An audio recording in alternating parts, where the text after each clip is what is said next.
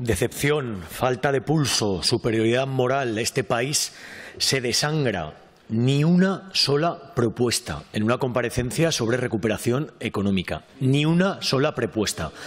Ese discurso tan catastrofista y tan negativo no se sostiene y pierde credibilidad cuando el portavoz del Partido Popular y también el portavoz de Vox no han traído ni una sola propuesta.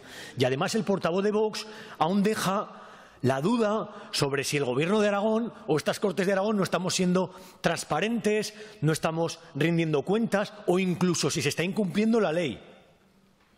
Cuidadito con eso.